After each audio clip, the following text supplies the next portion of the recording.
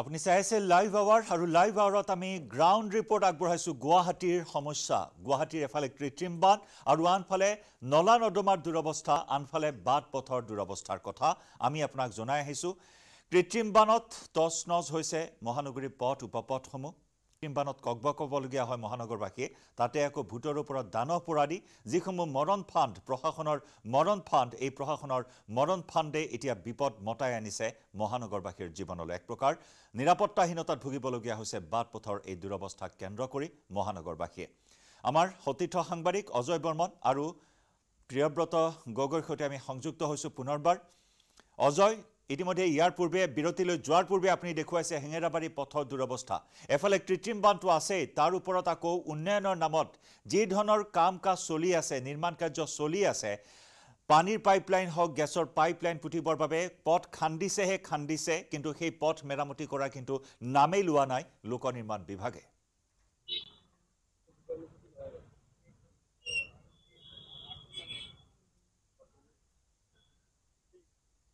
অজয় হয় চাওক জয়ন্ত যিহেতুকে আপুনি জনাইছে যে দীৰ্ঘদিন ধৰি চৰকাৰখনে কিন্তু সাধাৰণ জনতাৰ যি দুখ সেয়াসমূহ নিৰ্বাপন কৰিবৰ কাৰণে কিন্তু বিভিন্ন সময়ত বিভিন্ন ব্যৱস্থা হাতত লৈছিল। আপুনি ইতিমধ্যে জনাইছে যে খোৱা পানী ঘৰে ঘৰে বিশুদ্ধ খোৱা পানী যোগানৰ নামত কিন্তু এফালৰ পৰা ৰাজপথ উপপথ তেওঁলোকে খান্দি তহিলং কৰিছিল। তাৰপিছত যি ৰাইজৰ যি সমস্যা কিন্তু সেই সমস্যা আজিলৈকে সমাধান হোৱা নাই। নে এতিয়ালৈকে ৰাইজে বিশুদ্ধ খোৱা পানী খাবলৈ পালে বা তেওঁলোকৰ যি দুৰ্ভোগ দুৰ্ভোগৰ সমস্যা সমাধান নহ'ল এতিয়ালৈকে কিন্তু আৰু তাৰপিছতে ক'ব লাগিব যে সেই তেওঁলোকৰ ঘৰে ঘৰে খোৱা পানী যোগান ধৰাৰ নামত তেওঁ তেওঁলোকে যি ৰাস্তা খান্দি পেলাইছে তাৰপিছত। কিন্তু এজাক বৰষুণতে কিন্তু সেই গাঁতসমূহত কিন্তু পানীৰে উপচি পৰে আৰু বিভিন্ন সময়ত বিভিন্ন দুৰ্ঘটনা সংঘটিত হয়। আৰু মই পূৰ্বতে দেখাইছোঁ যে এই মুহূৰ্তত মই উপস্থিত আছোঁ মহানগৰীৰ যি হেঙেৰাবাৰী যি বৰবাৰী আৰু গণেশগুৰি সংযোগী ৰাজপথত। আৰু এই পথটোতে কিছু দূৰত যদি আমি যাওঁ ডি চি অফিচ আছে বা P P W P H চিৰ হেড অফিচটো আছে ইয়াতে। তাৰ লগতে বিভিন্ন স্কুল প্ৰতিষ্ঠান আছে। তাৰপিছতে কিন্তু বিভাগীয় কৰ্তৃপক্ষ কিন্তু ইয়াতে কাম শেষ কৰিব পৰা নাই বা দীৰ্ঘদিন ধৰি এই সমস্যা সমস্যাৰ সমাধান কৰিব পৰা নাই। এজন স্থানীয় ব্যক্তি আছে। খুৰা এটা অতি ব্যস্ত ৰাজপথ এইটো।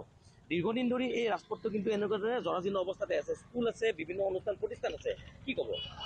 কি ক'ব আৰু এইবিলাক ইঞ্জিনিয়াৰ আচলতে ইঞ্জিনিয়াৰ হিচাপে নাহে। এই চামচা কিছুমান লৈ আহে সেইটো একোৱেই নাজানে। পঢ়া শুনা নায়েই। সেই মুখক লগাই দিলে ক'ত ভাল হ'ব? ডাইৰেক্ট ইঞ্জিনিয়াৰ আহক। ইঞ্জিনিয়াৰ ভালকৈ চাই চিতি পঢ়িলে বস্তুটো ভাল হয়। কিন্তু ব্যৱস্থা নাই নাই। ব্যৱস্থা নাই। এইটো মানে ৰাইজৰ বহুত অসুবিধা হৈছে। ৰাইজৰ সুবিধা অসুবিধাৰ প্ৰতি সম্পূৰ্ণ পিঠি দিছে প্ৰশাসনে আৰু তাৰে এয়া জ্বলন্ত উদাহৰণ। আমাৰ সাংবাদিকসকলৰ কেমেৰাত বন্দী হোৱা এই দৃশ্যই তাকেই উদঙাই তুলিছে। প্ৰিয়ব্ৰত শেষত আপোনাৰ পৰা আমি জানিব বিচাৰিম যে ৰাজধানী দিছপুৰৰ গাতে লাগি থকা এই অঞ্চলসমূহৰ এই দুৰৱস্থা। এতিয়া মহানগৰবাসীয়ে সকাহ কেতিয়ালৈ পাব সেয়া হৈছে আটাইতকৈ ডাঙৰ প্ৰশ্ন। এফালে কৃত্ৰিম বানৰ তাণ্ডৱ আৰু আনফালে এতিয়া পথ উপপথ দুচকীয়া চাৰিচকীয়া বাহন চলোৱাটো উপযোগী নহয়। আনকি খোজকাঢ়ি যাবলৈ এতিয়া উপযোগী হৈ থকা নাই। এই পথসমূহ সদাব্যস্ত এইসমূহ পথ। হয় নিশ্চয়কৈ। আপুনি কোৱাৰ দৰে আটাইতকৈ ডাঙৰ প্ৰশ্নটো বৰ্তমান সময়ত হ'ল কেতিয়া আজৰি পাব বা কেতিয়া উপহাস পাব এই সমস্যাবোৰৰ পৰা আচলতে। আমি যদিও বা এই সময়ত প্ৰাসংগিকভাৱে যাতায়াতৰ কথাটো অতি অধিক পাতি আছোঁ অধিক গুৰুত্ব দি আছোঁ যাতায়াতৰ কথাটো। কিন্তু তাৰ লগতে কেইবাটাও প্ৰাসংগিক বিষয় আছে। যদি আমি ক'বলৈ যাওঁ পানীৰ বাবে কেনে কেনে ধৰণৰ সমস্যাৰ সৃষ্টি হ'ব পাৰে তাৰ ভিতৰত এটা হ'ল যে কেনেধৰণৰ ৰোগৰ সৃষ্টি হ'ব পাৰে। এনেধৰণৰ অস্বাস্থ্যকৰ এটা পৰিৱেশত যোৱাকালি দিনটোতো আমি উল্লেখ কৰিছিলোঁ। যে এনেধৰণৰ এটা অস্বাস্থ্যকৰ পৰিৱেশত বিভিন্ন ধৰণৰ ৰোগ সৃষ্টি হ'ব পাৰে আচলতে। বিভিন্ন ধৰণৰ ৰোগ মহামাৰী ইত্যাদিকে ধৰি বিয়পি পৰিব পাৰে।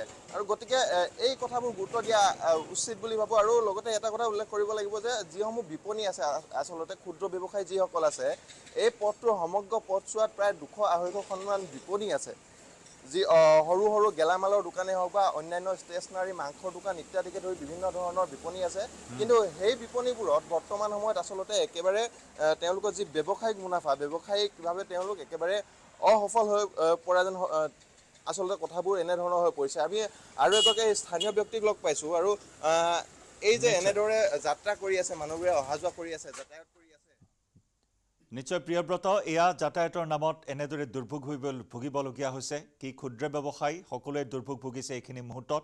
এয়াই হৈছে মহানগৰীৰ অৱস্থা। এফালে কৃত্ৰিম বান আনফালে পথৰ দুৰৱস্থা আনফালে উন্মুক্ত অৱস্থাত আছে নলা নৰ্দমা জলবৰ্ডৰ বৃহৎ বৃহৎ পানীৰ গাঁত সকলো একাকাৰ হৈ পৰিছে আৰু যাৰ বাবে এতিয়া নিৰাপত্তাহীনতাত যেন ভুগিছে মহানগৰীৰ জনতা। এইটো মাইথান ষ্টীল নহয়। অ ওচৰ চুবুৰীয়াসকলে লগাইছে।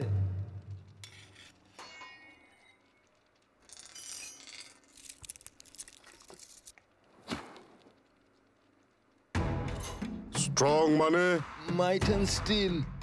Correct text headlines আগবঢ়াইছে এভৰিডে মছালা সুগন্ধ ৰং আৰু সোৱাদ খাটি এভৰিডে দিয়ে আহাৰৰ জুতি।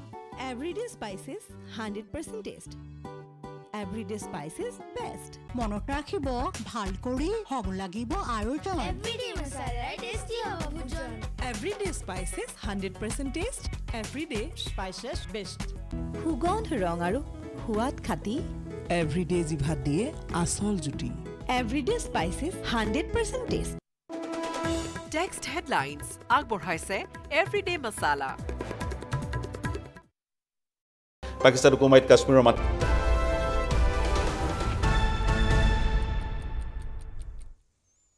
চৰকাৰী গাৰ্লছ হোষ্টেলৰ ৱাৰ্ডেনক অশ্লীল প্ৰস্তাৱ দি বিতৰ্কত হোষ্টেল পৰিচালনা সমিতিৰ সচিব বিশ্বনাথ চাৰিআলিত সংঘটিত হৈছে এই নিৰ্লজ্জ ঘটনা।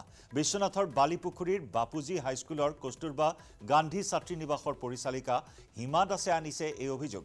হোষ্টেল পৰিচালনা সমিতিৰ সচিব তথা বাপুজী হাইস্কুলৰ শিক্ষক মুস্তাফিজুল হকে নিশা ছাত্ৰী নিবাসৰ কোঠাত অনাধিকাৰ প্ৰৱেশ কৰি ৱাৰ্ডেন হিমা দাসক অশ্লীল ইংগিত দিছিল।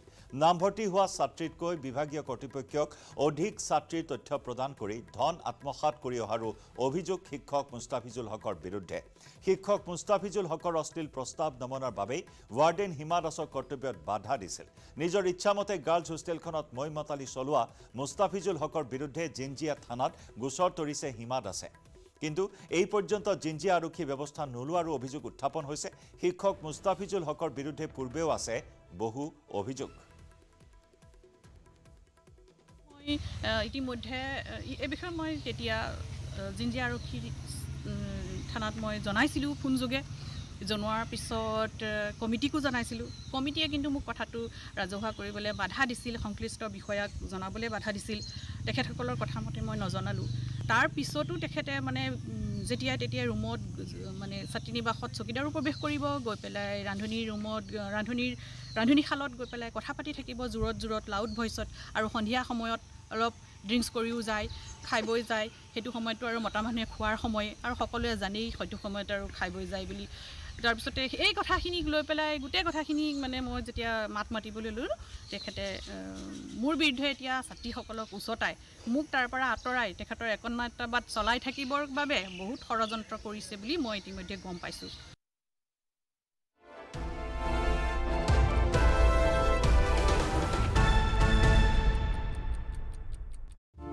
আক্ৰমণ কৰিব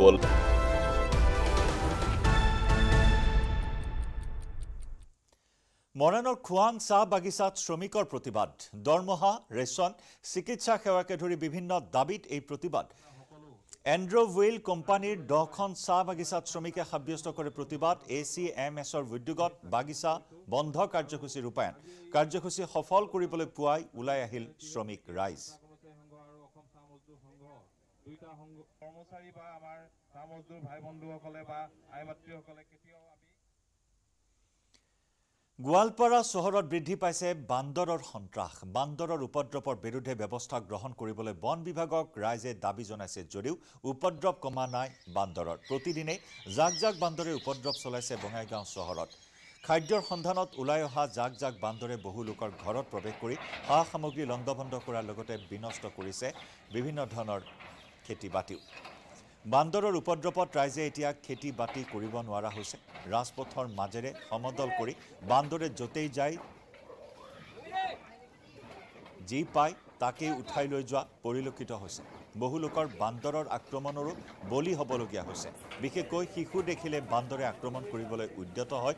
বিদ্যালয়লৈ যোৱা কণ কণ ছাত্ৰ ছাত্ৰীসকলো বান্দৰৰ উপদ্ৰৱৰ বাবে অসুবিধাৰ সন্মুখীন হৈছে।